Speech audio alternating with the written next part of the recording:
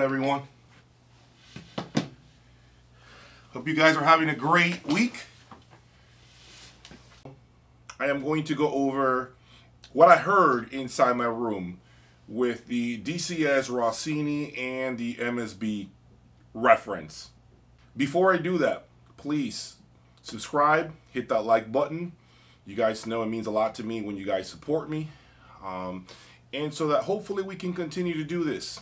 More shootouts will be coming your way, new things that I'll be showing you all, a lot of myths, a lot of things that I think are part of this industry as a whole that very few people talk about. Uh, my goal is to essentially go over with facts, present to you guys um, different things, different components, tweaks, you name it, and you guys are ultimately the ones who decide whether you like what you heard or you did not like what you heard. Uh, what you heard. Okay, so um, anyway, with regards to the MSB and DCS shootout, it's clear, as you guys can see, that the majority of you all selected demonstration number two on all three videos. Um, and I can understand definitely why a lot of you guys selected number two as the as your preferred uh, sound with these Wilson Audio Alexandria XLFs that are next to me. Okay. Um, remember, guys, I've said it many, many times. This is about synergy, about matching components, wearing the right shoes with the right outfit, right? That's essentially what this is about. Uh, you can easily have a mismatch oftentimes, um, and uh, you know, I, I, guess you could say I'm pretty pretty blessed to be able to play with a lot of different components at once. Um, it's not an easy thing to do, guys. It's very difficult to do what I do. It's extremely, extremely uh, tough to, um, you know, uh, obviously the the money that it takes to do something like this, uh, networking, your sources, people that you people in the industry who you talk to. Um, but I'm very, very happy to say that I do have a lot of people who help me out, who uh, have instructed me, uh, who have given given me a lot of very good points of reference. Okay, but that's it. I'm going to start out by saying, okay, that if you select a demonstration two or you select a demonstration one, there's absolutely nothing wrong with that. Nothing wrong with that. Both of them were special in their own ways. Uh, a case could be made for demonstration one perhaps being uh, a lot more immediate, dynamic than presentation number one, and a case could be made for presentation number one sounding to some of you much more real, organic, if you will. Okay? Um, but remember, it, oil, it all boils down to what you are looking for and with the speakers that you uh, currently have.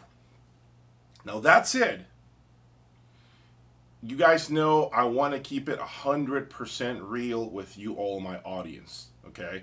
And I'm going to keep it 100% right at the very beginning of this video. Do not go out there spending hundreds of thousands of dollars on DACs. I think it is an extremely stupid move, in my opinion. Um, yes, I can say that because my equipment, my system is at that level where I can speak about that. Now, of course, if you have unlimited funds, which I know some of you guys do, uh, great. You're blessed to have some of the best equipment. You're willing to, you know, pony up a hundred thousand dollars, two hundred thousand dollars for a DAC, and you don't care what it costs as long as you have the best of the best. Kudos to you. But those of you who are with limited finances and you have to make a real decision as far as what DAC you should go for. Remember, the money that you put out, specifically talking about DACs, okay, doesn't necessarily mean you're getting that much more performance. Yes, this is applicable to all components, not just DACs, but I feel I'm a strong believer I'm a strong believer. I feel this is a lot more relevant with DACs. Guys, the laws of diminishing returns with DACs is simply huge, massive. You are going to have a DAC that costs you hypothetically 20 grand and you're going to have to spend 50 grand to get marginal returns 10% 15% a little more a few more bells and whistles here in the presentation a little more sizzle at the top. It's going to cost you 30 grand more. You have to decide if that's what you want to do. Now of course if you're coming from affordable streamers, and yes, I'm sorry, I am reviewing a lot of ultra high-end stuff. If you're coming from the affordable streamers like the Lumins of the world, if you're coming from the streamers like Bluesound, if you're coming from more of the normal gear, and you're moving up to a DCS or an MSB, yes, I completely agree. Definitely is going to show you a mark improvement uh, in the entire presentation. But once you've gotten to that point and you're jumping and hopping around the top of the line, let's say esoterics, DCS, and whether it's the Rossini, the Vivaldi, which I had, you guys know I had the Vivaldi, um, and MSBs of the world. Guys, that's where things get tricky. I am telling you right now, I wouldn't go out there running around trying to find a reason to burn another $30,000 on a DAC.